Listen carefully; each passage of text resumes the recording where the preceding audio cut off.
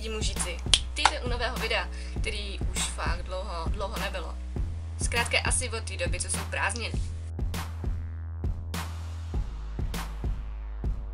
Prvním důvodem by byla brigáda, na kterou jsem od prvního dne prázdnin začala chodit. Jsem tam od 6, někdy končím kolem druhý, někdy kolem třetí. Většinou, když jsem přišla domů, tak jsem se najedla, napsala kamarádům, přítelovi a tak. No a do hodiny jsem byla třeba zase pryč. A vrátila jsem se až někdy pozdě večer. A takhle se to opakovalo, opakovalo, opakovalo, opakovalo. Roznáším jako poštu. Ze začátku jsem byla strašně zmatená. Nechápala jsem rekomanda, protože rekomand je několik druhů, jakože doporučených dopisů a tak. No a ještě to smíchat s balíčkama a s doručováním důchodu. Ze začátku to prostě bylo pro mě strašně chaotické.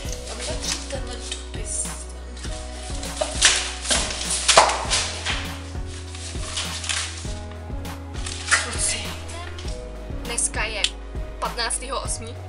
Tak před týdnem, ne úplně přímo před týdnem, ale asi tak nějak v pátek nebo v sobotu, mě chytla angína. Poprvé v životě mě chytlo něco jako angína. Nikdy jsem nebyla nemocná, ale prý jsem měla oslabenou imunitu z toho, jak jsem stávala v brzo.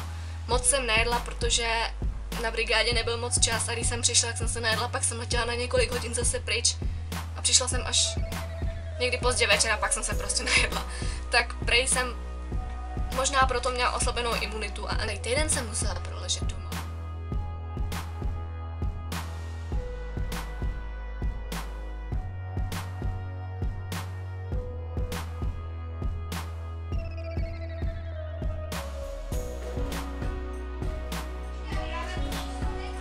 Zítra už jdu zase na brigádu a přitom bych měla ještě tři dny ležet doma, ale už ne. Asi před dvěmi týdny jsem se pokusila natočit jedno video, ale nějak jsem to nevydala, možná jsem to odsoudila jako hloupost, já ani nevím, pořádně jsem se na to nepodívala, ale dala bych sem nějaký trochu sestřih. Čau lidi! Je pravdou, že už docela dlouho nebylo žádný nový video. Měsíc asi tak? co je novýho na sociálních sítích, což mi zabere celkově třeba tak hodinku a pak zase letím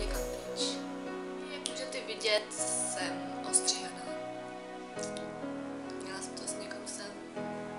Teď to mám sem, ale to nemusím řešit, protože vy to vidíte. No. Vlastně v tomhle videu vám nemám, doufám, že mi nekoukáte dolka, protože častokrát mi kouká takhle jakože. Pro tohle video by to bylo zatím asi vše.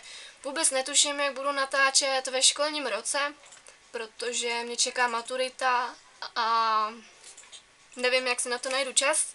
Každopádně já se s váma teď loučím, mějte se hezky a čau.